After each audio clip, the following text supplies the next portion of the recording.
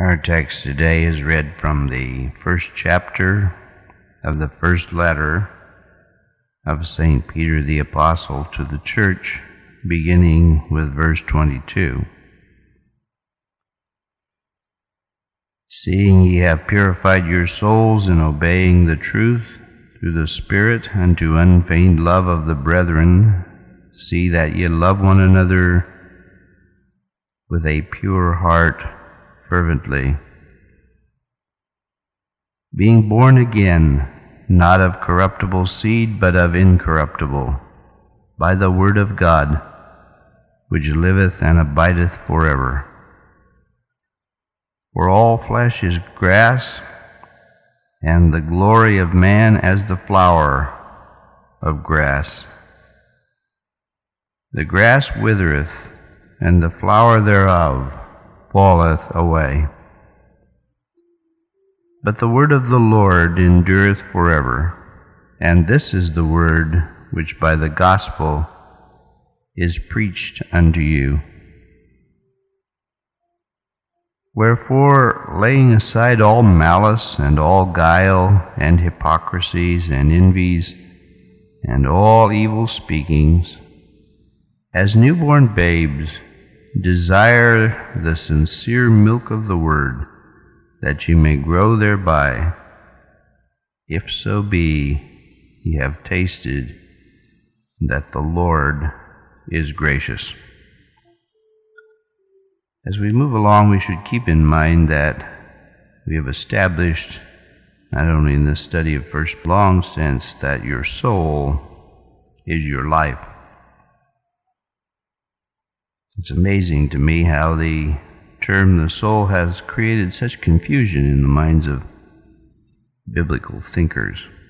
Not only is the word the soul, which is a Greek word pneuma, which actually means breath, the same as the word life, which is the word pneuma, and used interchangeably by Jesus and the apostles throughout the scriptures, but it also, in context, so obviously refers to your life. Let every soul be subject to the higher powers, and on and on, evidently speaking of one's life. Now, the apostle says we are in a position to love God and to love one another in a right and a sincere way because we have purified, we have cleaned up our lives through obeying the truth through the Holy Spirit unto the unfeigned and unpretended love of the brethren. Now, this is not a little aside that the apostle has come to to say to Christian people, along with everything else, you should love one another. But what St. Peter is saying here is this is what it was all about, what it is all about, and what it will be all about. Love for God, the Creator, who created man in his own image to love him and to intercourse with him and to have family with him and to have a sense of camaraderie and community. That's why God created man. And that was what man was created for and to. To love God, to love His, and to behave and to act out of sincerity, out of love, and out of truth.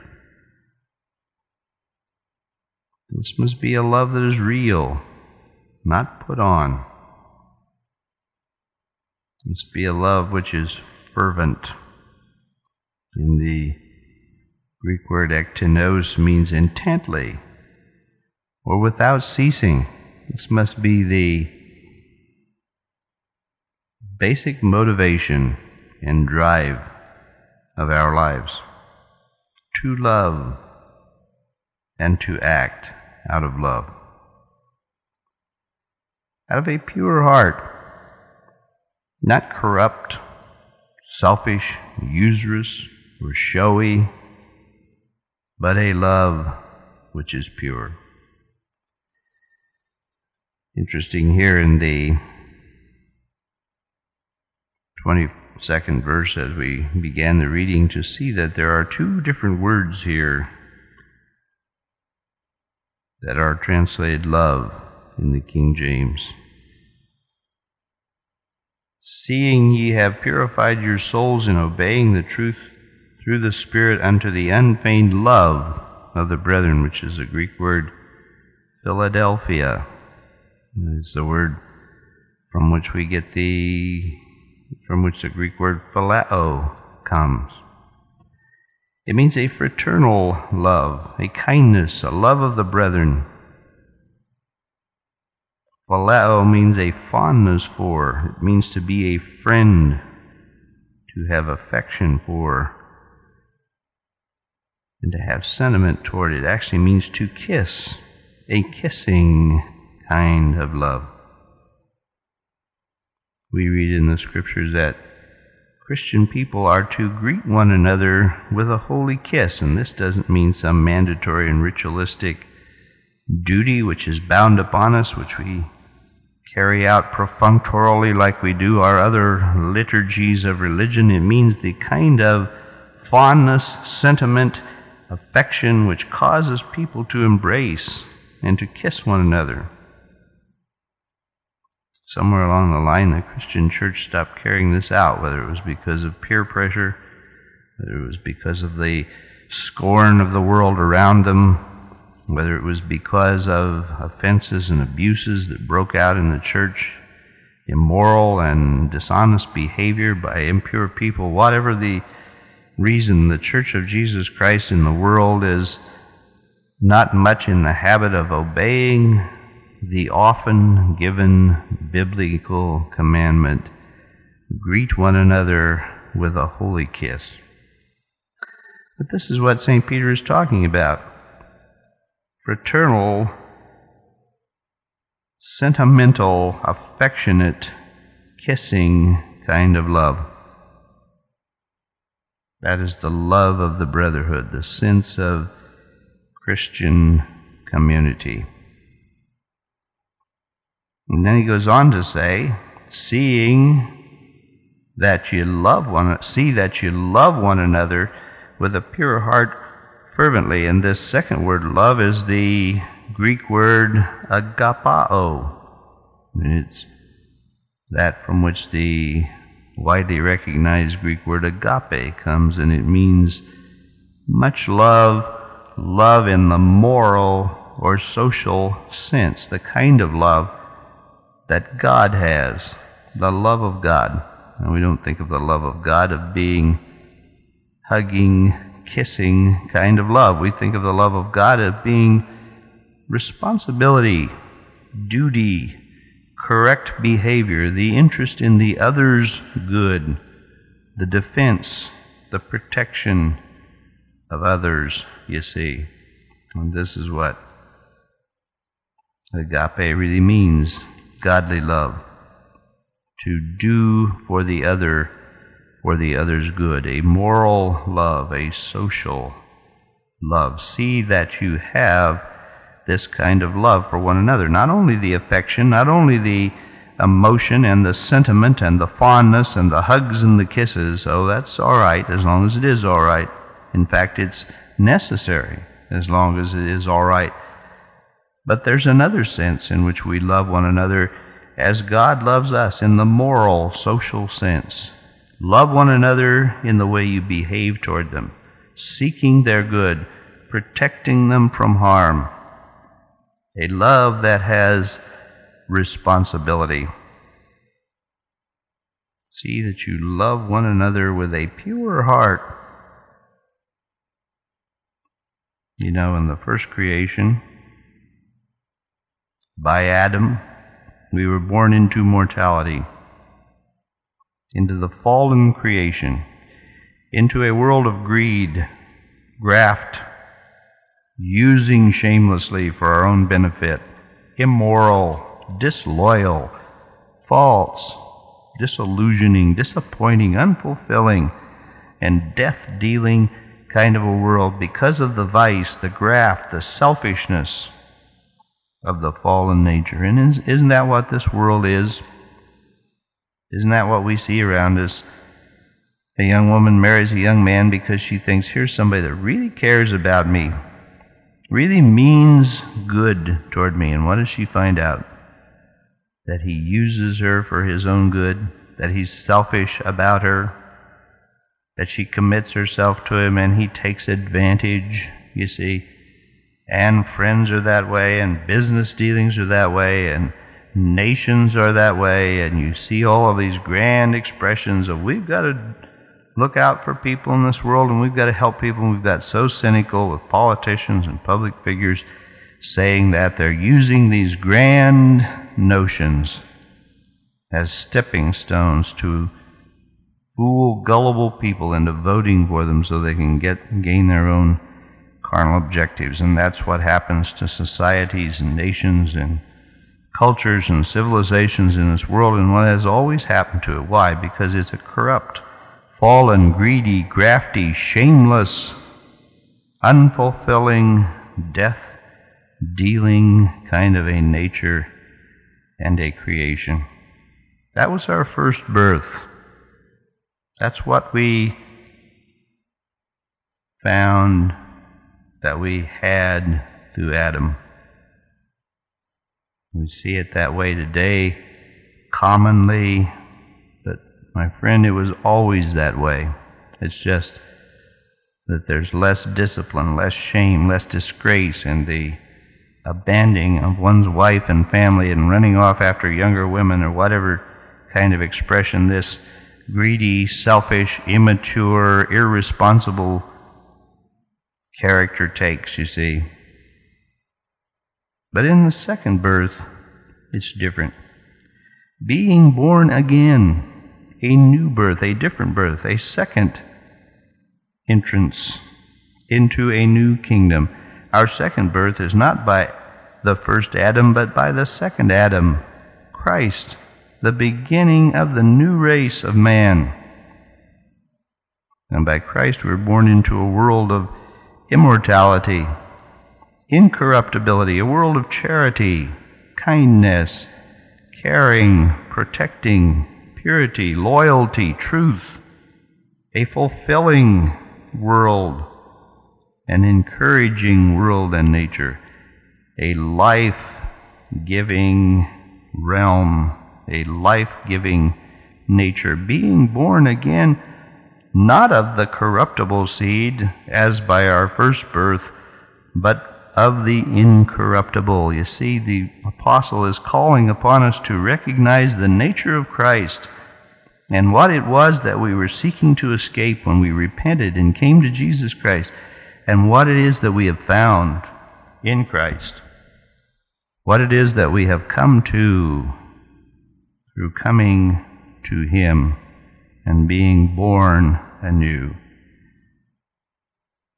Incorruptible seed and incorruptible nature, that's what it's talking about. Seed has to do with the, the bloodline of the parent Madam, we inherited this fallen thing that we have talked about. From Christ, we have inherited a life and a realm, a kingdom which is incorruptible. And it's by the Word of God which liveth and abideth forever. What does that mean? Well, you can set before you on, the, on your table bread, fruit, meat, cereal, milk, and what happens? You eat it, and then what? It becomes part of you. It becomes the strength of your life. It finds its expression in the shape of your body. That's how you live. That's what keeps you living. And we set before us in the spiritual life the Word of God, the bread and the drink of the Christian life which finds its expression in our Christian character, our Christian being. And we feed upon the bread and the meat of mortality. It builds a mortal body, a body which grows old and grows wrinkled and grows tired and eventually dies. But what does the Word of God build in the spiritual man? an incorruptible life. Well, I'm not saying that everyone who's religious or everyone who professes Christianity is pure and holy and righteous.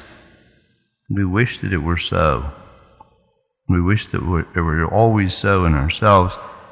We wish it were so in others. I'm saying that the incorruptible Word of God, ministered to us by the Holy Spirit, obeyed out of a sincere and a pure heart by the follower of Jesus Christ, builds a life which is incorruptible, which is pure, which is loyal, which is fulfilling, which gives life and abides forever. It does not die, it does not corrupt.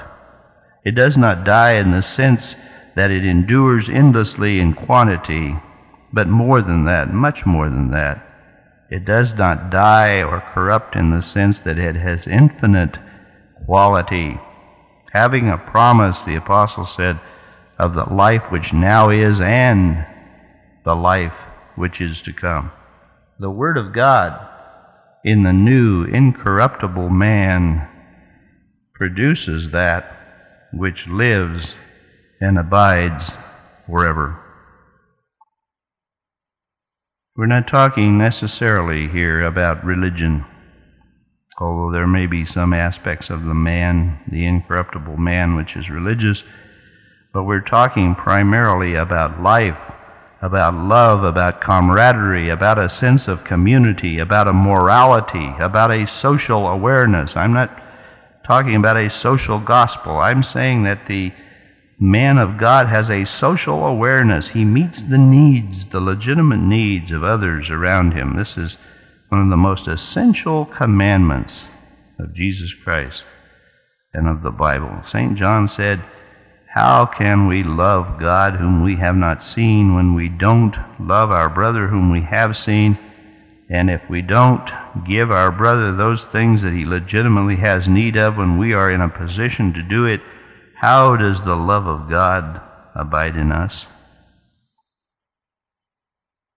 A love and a life which has a moral and a social awareness. Well, you say that may all be, and there's some things about that that are interesting and some bells that ring with me, but I have to say that my basic interest in life is something I can see, something I can feel, something I can get my teeth into. I'm primarily interested in the here and the now and the more simple and observable and graspable things of life. That's where I want my expression, that's where I want my reward, that's where I want my glory. St. Peter said, All right, but be aware of this all flesh is as grass, and the glory of man is the flower of grass. The grass withereth, and the flower thereof falleth away. Mother and I have a little custom that we carry out in our lives.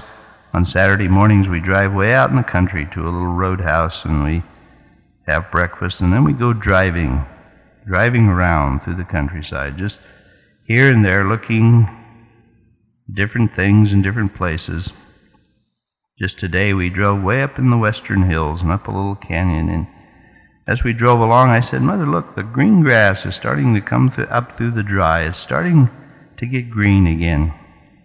And Mother said dryly as she looked out, across the hillside with her 88 year old eyes, she said, Yes, and it'll soon be dry and withered again. The grass comes up green and exciting and fresh and new, and we say, Oh, look, the green of a new season, the freshness of new life. Ah, yes, but the dry season isn't far behind. The flower of the grass withers, the grass withers, the flower dies very soon, all the glory of man is just like that green grass that you see coming up out there. It won't be long before it's gone.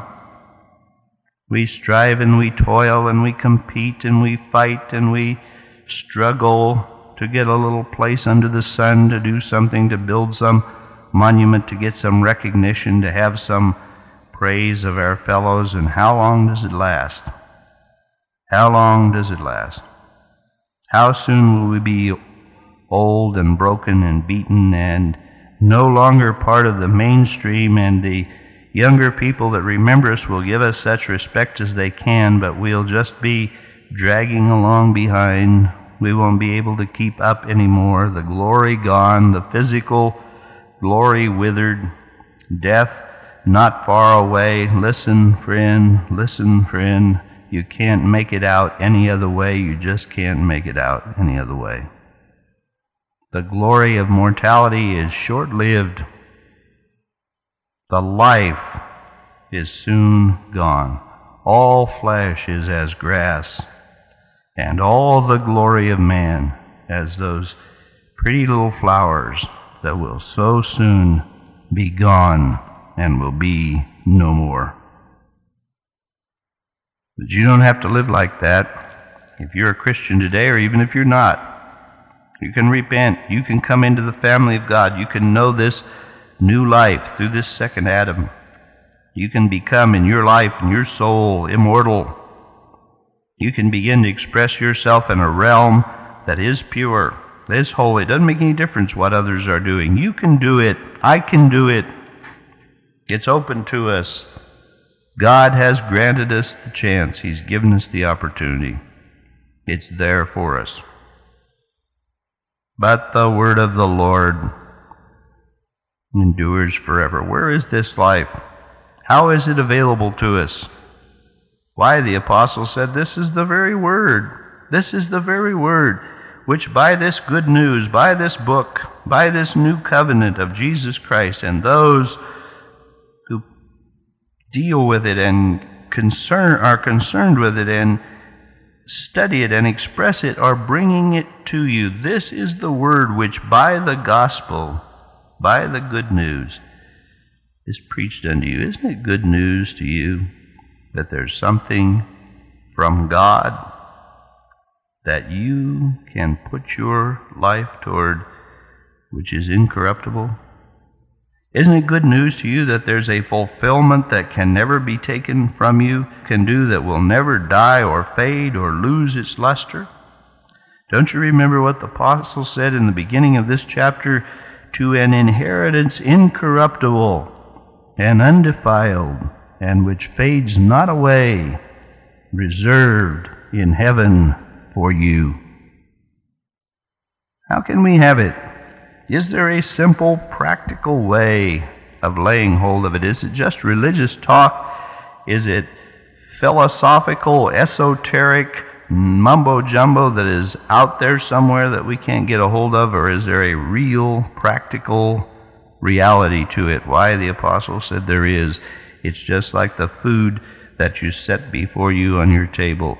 Wherefore, laying aside all this malice, and guile and hypocrisy and envy and evil speakings, which immediately, as soon as the day opens up, begins to characterize the expressions of the fallen children of Adam, going out with malice in our heart, going out with deceit, going out with falseness, envying someone, speaking evil of someone, put that old thing aside and do this. As newborn babies, as newborn babes, Desire the sincere milk of the Word, that you may grow thereby. What do you need to do? Take this Word of God. Ask God for understanding, and ask God for the strength to begin to apply it to your life. Just like people are telling you, eat right and then exercise. Well, that's what the apostle is saying. Eat right, feed upon the Word of God, and then go out and exercise yourself in the ways of God, and you'll grow just like a child grows when he gets the milk and he gets the exercise. And you'll grow up into a mature man in Christ if you are one of those who have recognized that God is good, that there is grace, that there is mercy to help. That's what God is, that is asking for. He's come to Christ and take the Word of God and feed upon it and express it in your life and begin to live a life which is holy and sincere and righteous and pure and filled with the love of God and the love of others. And if you do that, you will find the expression of fulfillment, the encouraging, life giving path that has everything to do with what man is all about.